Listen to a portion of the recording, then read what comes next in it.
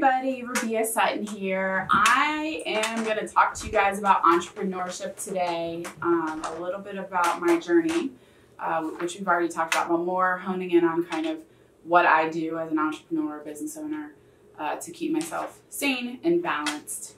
An entrepreneur to me is somebody who is a creative at heart, wants to create something and impact a segment, the world, a segment of people, uh, what have you, whatever their kind of market is, um, and can't handle being boxed in uh, to somebody else's culture or being told that they can't think out of outside of the box. Uh, for me, uh, I hate the box. I don't want to be in the box. I don't like no. I don't like can't. I want to be as free as possible and be able to think as freely as possible um, and I want everybody around me to have the same access. Um, I think that you know, yes, everybody right now is is all about kind of figuring out whether they can be an entrepreneur and run a business. Um, and and I think it's also important to point out that there's different modes of being a business owner. You know, there is the business owner who um, is a sole proprietor and um, never and, and doesn't want to grow their business to you know this enormous thing with a bunch of employees uh, provides a service or a product makes enough money to be able to support their lifestyle maybe takes off you know a couple months off the out of the year and they're doing it. And i think uh, but they're able to be creative and in those time in the time that they're off uh, they're rejuvenating, recharging, and kind of figuring out what their next thing is going to be. Um, and that's what's important to them, right? And I think that's just as much of an entrepreneur as the person who's building the $150 million billion dollar business with, you know, thousands of employees and uh, working, you know, 16, 17, 18 hours a day. Um, for me, I try to find a balance, you know, in all of that I'm not going to take off, you know, a couple of months, but I do make sure that I'm making time to give myself uh, access to recharge. I, you know, meditate on a daily basis, uh, sometimes multiple times a day, but definitely like in the morning, kind of setting the tone for the day. I'm big into using affirmations. So, you know, uh, what is possible for me that day? Who could I meet that day? What business opportunities can I close? Um, what impact can I have on the world? Who can I help? Who can help me? Those kind of things. And I also, you know, if I'm having uh, what I feel like is an incredibly long day or it's super stressful, I will, you know, take 20 minutes at three o'clock, two o'clock in the middle of the day and go do some more meditation or just find some space where no one is pulling at me so that I can just be alone with my thoughts and recategorize uh, and prioritize what I need to do so that I can be efficient the rest of the day. Um, I think, you know, making time to see my family, my children, my husband, uh, in the evening, support their activities uh, right now is super important for me. They, I've only got like two years left while they're in the house, and I want to make sure that I'm spending as much time as I can with them uh, whether they want that or not. And then I am, uh, you know, making sure that I am uh, not necessarily reading. I'm not a big reader because I read, I've been reading for a living in terms of the uh, services that I've provided as a contracts person. And I'm in the car a lot, so I do a lot of, you know, audible books on tape and just kind of listening to professional development and listening to the thought leaders uh, that are out there right now, you know, talking about empathy and love and how to infuse that in your business and being kind and um, and you know using meditation to kind of get clear and spirituality and all of those kinds of things. So you've um, talked to us a lot about what you do as an entrepreneur and help what keeps you balanced. So do you feel that anybody can be an entrepreneur or is, are you just born to be an entrepreneur? So this goes to the question of what about that person at work right now who hates their job? They don't feel like they make enough money. They're not getting the validation that they think, you know, that they deserve. Are they entrepreneur? Are those characteristics of entrepreneur? Um, well, I think that that could be looked at a couple of different ways, right? The person that's sitting at their job being and is miserable and thinks that they're being underpaid and doesn't like the culture and doesn't fit in. Those are definitely those definitely could be characteristics of an entrepreneur, but it could just be characteristics that the person needs to go empower themselves to leave and find a different position. For me, entrepreneurship is about do you have the tenacity to go out and build something on your own, however small or big that is, to support yourself, your family, your employees if you have them and want them, uh, and and maintain that financial um, balance for everybody, and then build a culture and focus on your customers and all of those things. Again, I feel like there's a lot of uh, talk in entrepreneurship around building this behemoth thing, but there are plenty of entrepreneurs that are one man, one woman show that don't want to have a bunch of employees, don't want to build it past whatever they are comfortable with monetarily. They are just as much of an entrepreneur as I or anybody else who has a larger company and has employees. They just have a different focus. And um, they could still be changing the world. They could, they're still impacting their customer segment. Uh, they're still impacting the people, you know, their partnerships and, and whoever they're kind of dealing with on a daily basis who's in their circle. They just may not have the objective to go and do something on a large scale. And I think that that person is just as much of an entrepreneur as anybody else who's, you know, making millions of dollars running a business. So the use the word tenacity. Is tenacity something you're born with, or is that something that you can um, achieve over time? And how do you achieve that? Or is it possible? I mean, I definitely think people are born, there are different people who have different personality traits. And I think tenacity is built into some people more than others. But I think anybody can be tenacious if you decide that this is something you want to go after, you come up with a goal, and then you back into it. What do you need to do? What are those action steps that you need to take to get to that goal? And then you break that down in chunks over time, you know, what do you need to do this week? What do you need to do this month? What do you need to do this year? What do you need to do today to get to that goal? That's part of being tenacious. I think the characteristic that is imbued on entrepreneurs even more than tenacity is resilience, right? Being able to get up, fail, get up again and keep going and and not taking no for an answer and not and obviously people are going to get discouraged at different points, but not letting that prevent them from continuing to build and grow and keep their eye on the prize. I think that is uh, is a personality trait again that people are born with, but with the right team and the right culture around you, I think anybody could be, you know, resilient and you won't know until you, you know, kind of try. I think the difference is if you're really asking me what the difference is between an entrepreneur and somebody who is happy being an employee of somebody else is you know there are people who have vision and and i would call who are creatives and can uh, take it, an idea and think about it strategically how it's going to affect the end consumer. And then there are people who are executors or implementers of those things and you need both to run a business.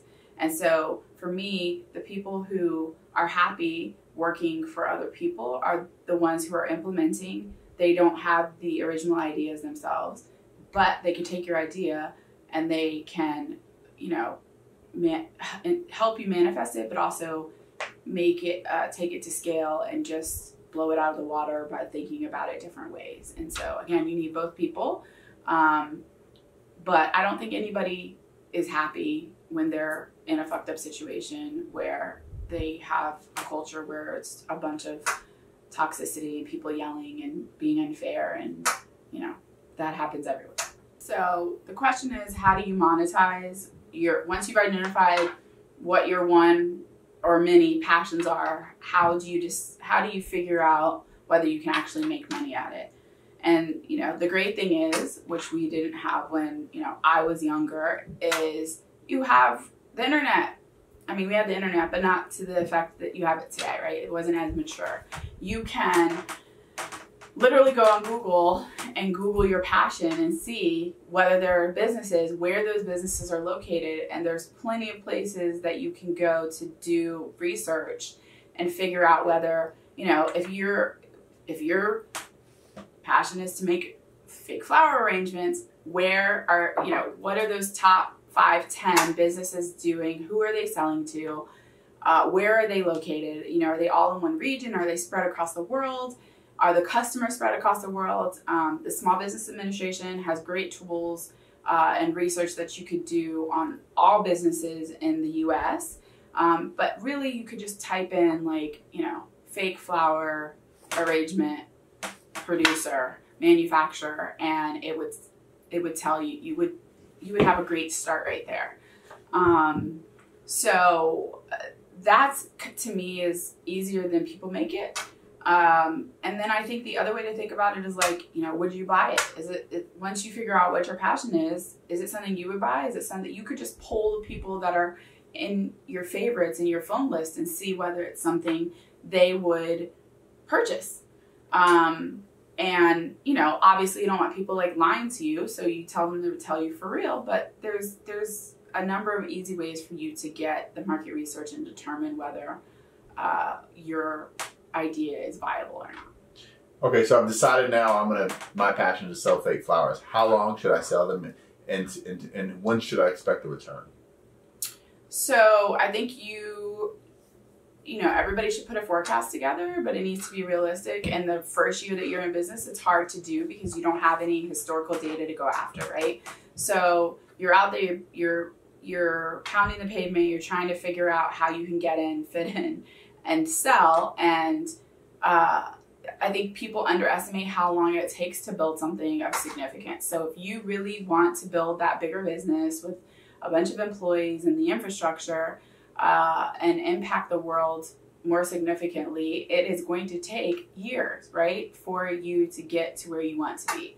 I'm eight and a half years into this business, and we're just starting to get to a place where I feel good like, oh my God, all of the work that we've done over these last eight and a half years is finally starting to catch up. All the seeds that we've planted, you know, we're, we're starting this decline, right, of scale, which I want.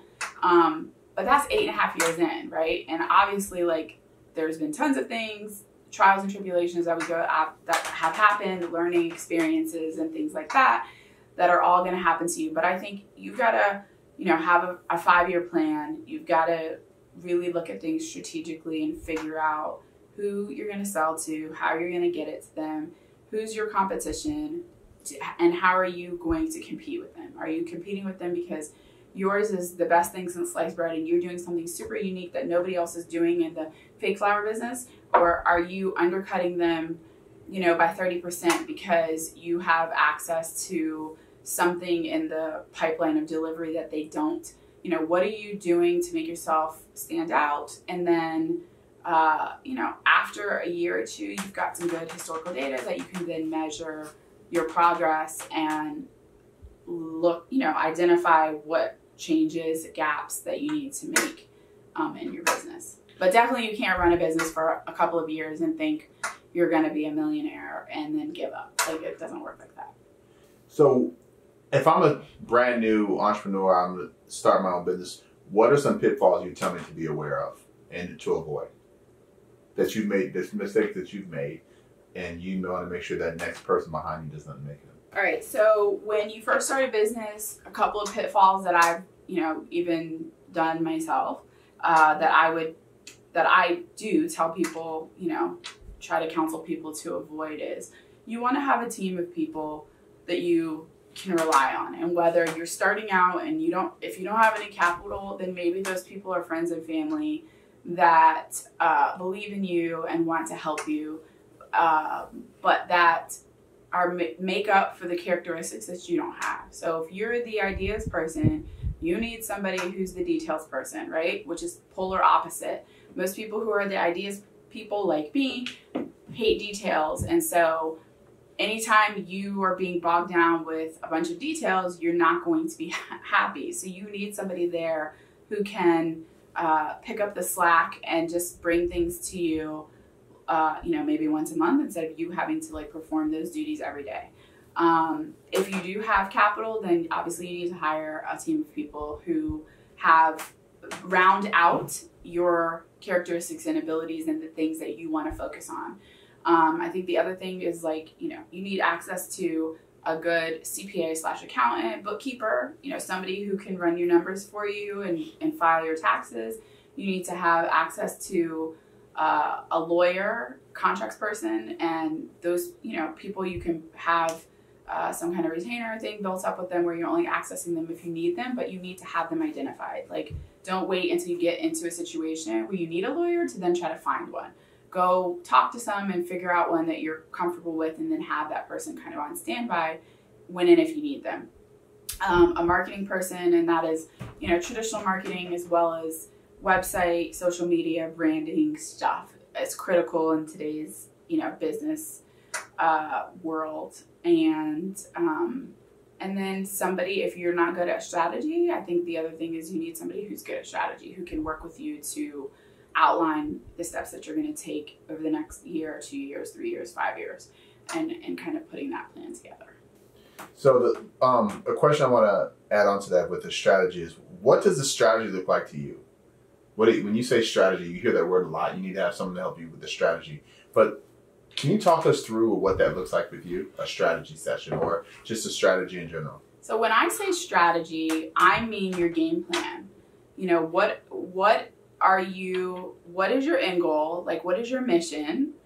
Uh, what is the goal that you have? What are the action steps you're going to take to get there? What people do you need to make that happen inside and outside of your organization?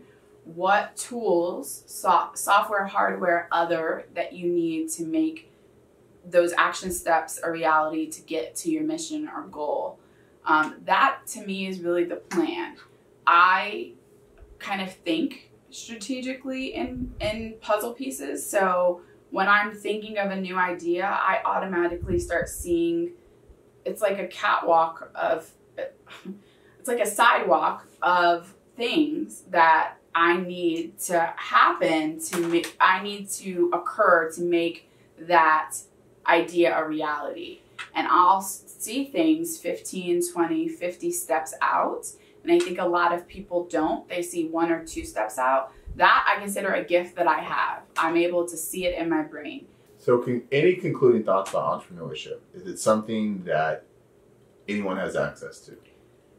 Yes, I believe that entrepreneurship is something that everybody has access to. And in this day and time, there are just so many ways that you can start a business. And I think that, you know, to me, it's the alternative of what we have been prescribed, which is, you know, go to school, graduate, go to more school, graduate, maybe get a job, maybe go to more school, then get a job, and you really have no skills in that job in, unless you're in, you know, one of very few um, majors. And so then you're learning things kind of newly. And if you don't have a good leader uh, or manager, showing you the skills, soft skills or technical skills, life skills, then you are learning things the wrong way. Uh, and if you are in tune with yourself, then you know they don't feel right, but you might not have anywhere else to go get those skills. And so, why not take that energy uh, as an alternate path, not rack up those loans if that's not something that you want to do, and go start a flipping business, go start a fake flower business, go start a food truck. There are a lot, there are just like so many things that people can do these days that, like I said, you could be a one woman band and start up a business that you're doing from home, still have, you know, a life, still have your family, take months off. There's just so many things that you can do. If the end goal of you going through, you know, co- the the traditional path of college is to be able to get a job to be able to take care of yourself you could be starting that when you're in high school and proving to yourself your parents and everybody else by the time you get out of high school that you're already taking care of yourself. And then if you want to go to college go. I'm not i'm not saying that nobody should go to college. I'm just saying there needs to be a a there needs to be options. I like options right? Because i don't like a box. I don't like no i don't like can't. So give me options. One option is people that really want to go to college go. One option is you could start a business. One option is you could just go get trained in skills that are needed today, like coding and programming, and go work uh, as an employee, and then if you have the desire to go start a job, um, start a business, or go to college later, you can. But there's nothing prohibiting you from doing the other two, and this can't be the only option. Thanks, guys, for watching um, this discussion about entrepreneurship. I would love to hear what you guys uh, have to say, um, what your thoughts are around options, going to college, starting a business, getting a job right right after you graduate, and just kind of what entrepreneurship means in general. Uh, dissuading you from believing that it has to be this you're building a multi-million dollar company and that there's other ways to be entrepreneurs so would love to hear your thoughts. Uh, would love for you guys to subscribe and uh, follow me. Thanks